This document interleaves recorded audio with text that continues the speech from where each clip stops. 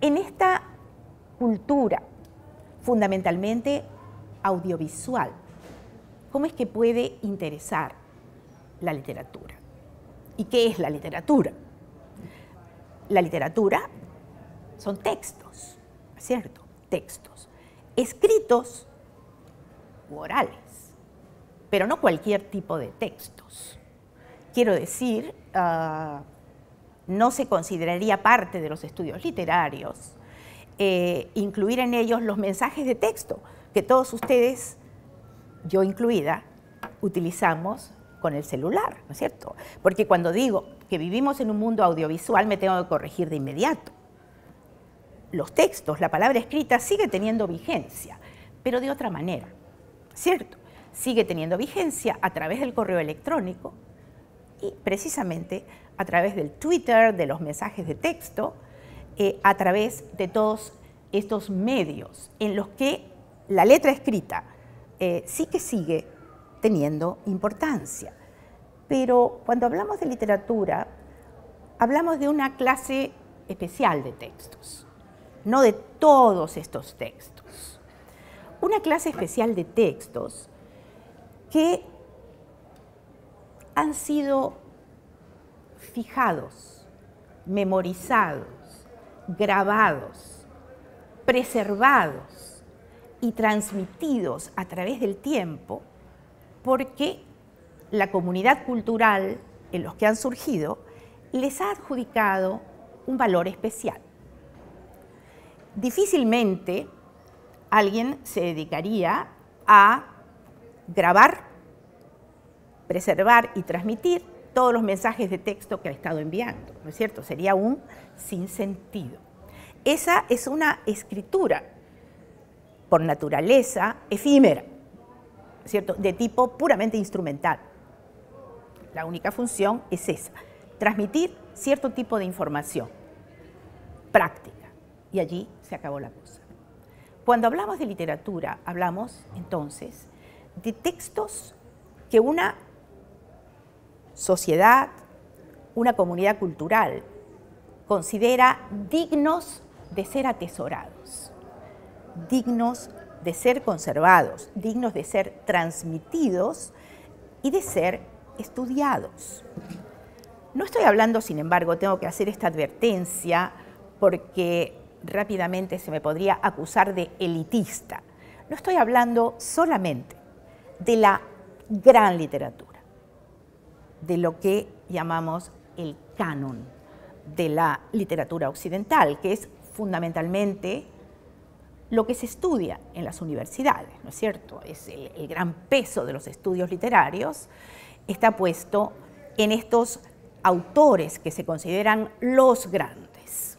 No, eh, estoy hablando solo de eso, eh, estoy hablando también de la literatura oral. Estoy tan, hablando también de la lírica oral popular. Parecería que hubiera una cierta contradicción entre hablar de literatura y ponerle el adjetivo oral. ¿Por qué digo? Una contradicción, porque literatura viene de litera, letra. Y esta es, ah, digamos, este es el origen de la noción hacia el siglo XVIII en Europa, ¿no es cierto? durante la Ilustración es que comenzó a llamarse literatura a todos los textos escritos considerados valiosos, considerados bien escritos, independientemente de que fueran artísticos en el sentido moderno o no. Pues bien, literatura oral parece contradictorio, porque si es oral, no tiene mucho que ver con la letra, y menos con la letra escrita. Ah, sin embargo, la literatura oral suele, ha solido estar conectada desde las épocas más remotas a la escritura, como diría yo, una maniobra de salvataje. Hay ciertos momentos en la historia de una nación, de una cultura, en los que ciertos momentos en los que ciertos espíritus particularmente lúcidos sienten la necesidad de salvar un tesoro verbal en riesgo de perderse. Eh, este fue el caso de los poemas homéricos, por ejemplo. Estos, por eso a veces me causa gracia cuando se producen apasionadas discusiones entre los uh, defensores del canon y los defensores del paracanon o del anticanon. ¿Qué más canónico? ¿No es cierto? ¿Qué eh, texto más canónico dentro de la literatura occidental de raíces grecolatinas que los poemas homéricos, la Ilíada y la Odisea? Pues bien, esos poemas no fueron obra de un autor que pensó y escribió cada verso. Es decir, fueron parte de una extensísima tradición oral que se fue manteniendo a través de los siglos, hasta que alguien o más de alguien, que quizás se llamó Homero o no,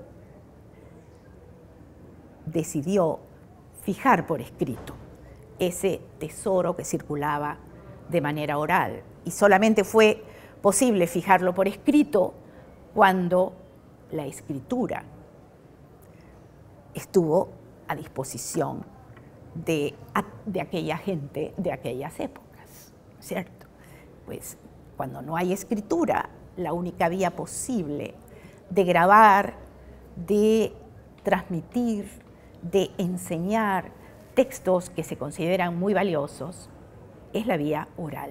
Tenemos eh, tesoros de literatura oral al borde de la extinción, aquí, en el Perú, por ejemplo, en, eh, en la zona de la Amazonía. Ha salido recientemente, creo que el, día de ayer, precisamente, en el comercio, un llamado de atención sobre la posibilidad de que se pierdan textos orales eh, dedicados a hablar con los dioses en una de las lenguas que están al borde de la extinción, en la zona de selva del Cusco, cercana al Cusco.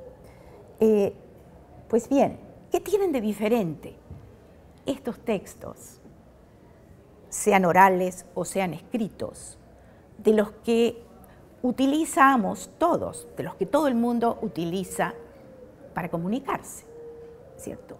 Vivimos hablando y vivimos escribiendo de todas las maneras instrumentales que están a nuestro alcance. Sin embargo, todo eso que hablamos y todo eso que escribimos no forma parte de este tesoro conservable. ¿En qué medida tienen bastante en común digamos un poema de Vallejo, ya que estoy dando un seminario de Vallejo, y estos breves textos orales transmitidos a través de las generaciones para dirigirse a los dioses de la naturaleza. Lo que tienen en común es una forma especial. Esa forma que solo se puede conservar a través de la memoria, a través de la repetición de boca en boca o fijándola por escrito. Dicho sea de paso, una de las manifestaciones más arcaicas de eso que hoy llamamos literatura son formas que de una manera o de otra responden a estructuras bastante artificiosas, estructuras hechas de acuerdo con los más variados criterios según la naturaleza de las lenguas, pero que tienen una cierta medida una cierta ritmicidad, un carácter recurrente, eso que llamamos versos. Precisamente las formas más antiguas de la literatura de todos los tiempos son formas que hoy llamaríamos poéticas, porque tienen esta característica, el haber sido elaboradas y transmitidas en una forma que no es la de la comunicación corriente, que no es la, de la comunicación pragmática. Entre otras razones, la necesidad de atenerse a estas formas tan artificiosas se debía, por un lado, al carácter de conjuro, ¿cierto? de comunicación mágica con las fuerzas misteriosas de la naturaleza que tenían originariamente. Y se debían, por otro lado, al hecho de que resultaban ayudas poderosas para la memoria. Ya se sabe que estas estructuras, llamémoslas versales, eh, ofrecían la posibilidad de repetición con mayor facilidad que la repetición de un texto informe. Hay pues, tanto en esos conjuros, en esas canciones de guerra primitivas y un poema de Vallejo bastante en común. En común está la insistencia con que esas palabras se marcan en nuestra memoria y requieren ser repetidas una y otra vez, exactamente de la misma manera, así como hay golpes en la vida tan fuertes, yo no sé, golpes como del odio de Dios.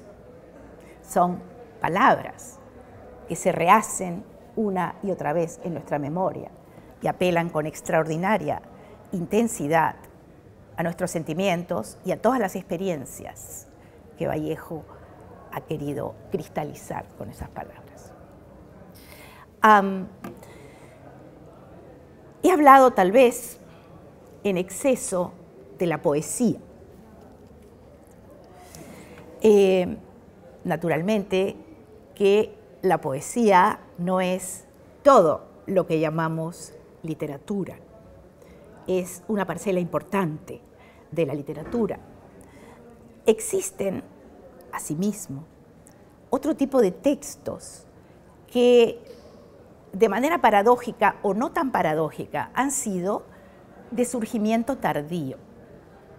Eh, frecuentemente yo me remito a la antigüedad grecolatina porque la conozco, porque la conozco bien, y porque de alguna manera está en los orígenes de una de las tradiciones culturales que configuran nuestra herencia, una, sin olvido de las otras tradiciones culturales. En fin, yo conozco esta ramita, ¿no es cierto? Este canalito de, eh, cultural que nos viene a través del castellano, claro está, de la lengua que trajeron los conquistadores.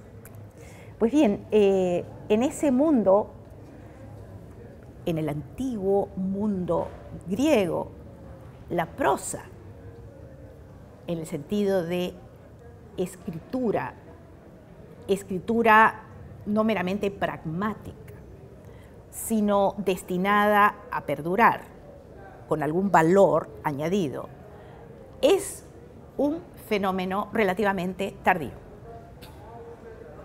Poemas homéricos son anteriores, la poesía lírica es anterior, los primeros textos de reflexión filosófica fueron en verso.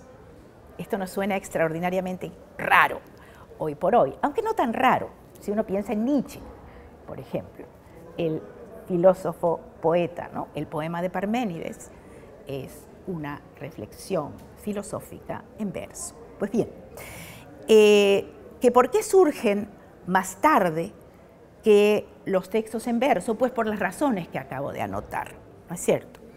Porque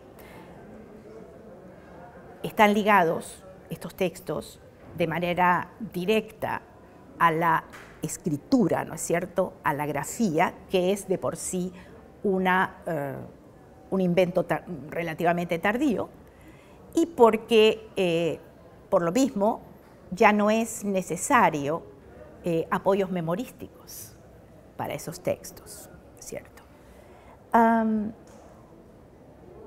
cuando Aristóteles comienza a reflexionar sobre todos esos textos que tenía ante sus ojos, todos ellos escritos, unos en verso, otros en prosa, eh, se preguntó qué lugar especial tenían los textos artísticos.